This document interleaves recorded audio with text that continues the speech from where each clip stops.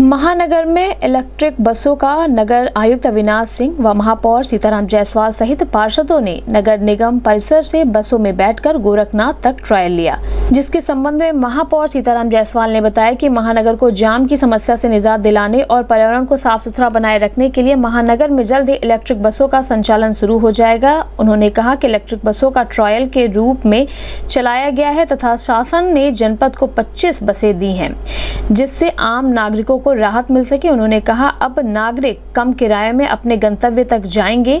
उन्होंने कहा, बसों का चार्जिंग स्टेशन महेसरा बनाया गया है, तथा महेसरा से नौसर तथा दूसरा मेडिकल कॉलेज से इंजीनियरिंग कॉलेज तक यह बसें चलेंगी, जिससे आम नागरिकों को राहत मिल सके। उन्होंने कहा, अब नागरिक कम किराए में अपने गंतव्य तक जाएँगे। उन्होंने कहा, बसों का चार्जिंग स्टेशन महेसरा बनाया गया है तथा महेसरा से नौसड़ तथा दूसरा मेडिकल कॉलेज से इंजीनियरिंग कॉलेज तक यह बसें चलेंगी। जिसका ट्रायल किया गया है।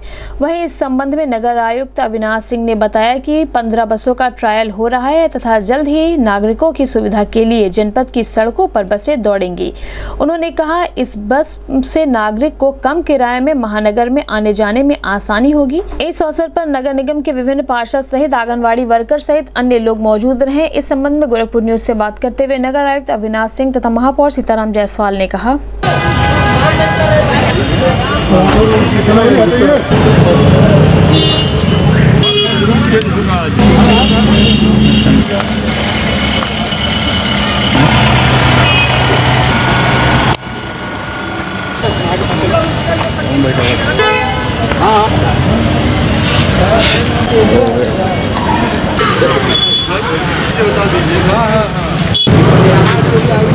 जाओ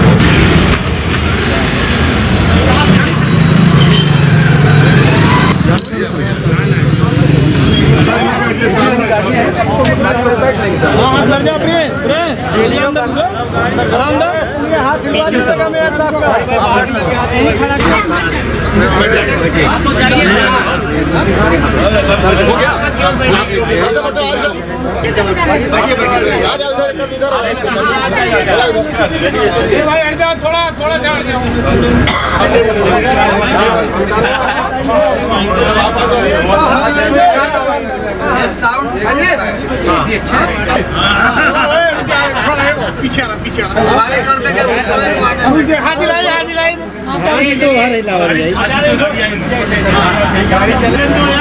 सर सर सर इधर। वो मोबाइल पीछे करना। Sir sir.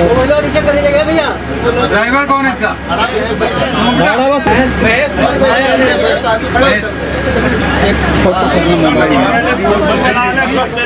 एक मिनट एक मिनट रुकिएगा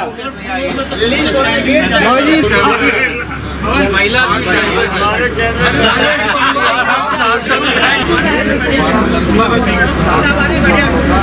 मैं सभी नागरिकों से अपील करूँगा इस बस का उपयोग करें और बिना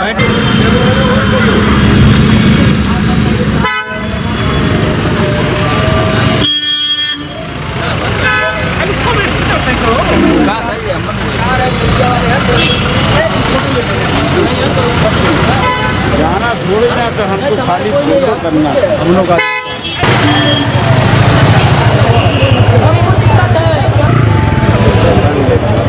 है सुपरवाइजर इंस्पेक्टर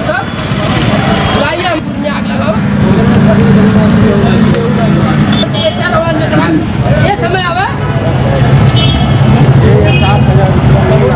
जैसा कि आपके संज्ञान में है पंद्रह इलेक्ट्रिक बस गोरखपुर जनपद में आ चुकी है और आज उन पंद्रहों बसों का जो है ट्रायल रन किया जा रहा है, इसको देखा जा रहा है कि ये गाड़ी मतलब सही प्रकार से चल रही है कि नहीं है, कोई इसमें कमी तो नहीं है, किसी प्रकार कोई दिक्कत दिक्कत तो नहीं है रूट पे इस किस प्रकार की से रन कर रही है। तो इसी को लेकर आज हम लोग मेयर साहब के नेतृत्व में हमारे सम्मानित पार्षदगण हैं उप सभापति जी हैं और हमारे क्षेत्र के सम्मानित नागरिकगण हैं। तो एक बार हम लोग इन सभी गाड़ियों को ले जाकर आज ट्रायल रन करेंगे और ट्रायल रन होने के बाद अगर कुछ कमियाँ पाई जाती हैं कि इसके भीतर से कुछ और इसमें इंतज़ाम करने हैं तो उसको पूरा करने के बाद अतिशीघ्र जो है, दो या तीन दिन के भीतर जो है, इसको गोरखपुर की सड़कों पर दौड़ाया जाएगा। हमारे नगर आयुक्त साहब आर एम साहब, और इसमें हमारे सम्मानित पार्षद बैठे हुए हैं। आंगनबाड़ी कार्यकर्ताएँ बैठी है। सरकार ने 25 बसें गोरखपुर को दी है। इससे बिना प्रदूषण के ये बसें चलेगी, बैटरी से चलेगी, किसी तरह का इससे प्रदूषण डिस्चार्ज नहीं होगा। पर्यावरण की सुरक्षा होगी। आम नागरिकों को इससे काफ़ी राहत मिलेगी। कम किराया पर गंतव्य तक आसानी से जा जा सकेंगे लोग। मैसरा से इसके चार्जिंग स्टेशन बनाए गए हैं। वहाँ से नौसर तक और फिर न, दूसरा रूट एक रखा गया है मेडिकल कॉलेज के तरफ़ से इंजीनियरिंग कॉलेज तक। दो रूटों पर हमारी बसें चलेगी। आज हम लोग इसका ट्रायल रन ले रहे हैं और ट्रायल ले, लेने के बाद इस पर फिर आगे उम्मीद की जाती है कि अगले एक दो दिनों में ये बसें सड़क पर यात्रियों की सेवा के लिए दौड़ने लगे कितना फ़ायदा होगा आम नागरिक इससे आप लोगों को जेब पर कम असर पड़ेगा और आसानी से लोग अपने गंतव्य तक पहुँच जाएँगे।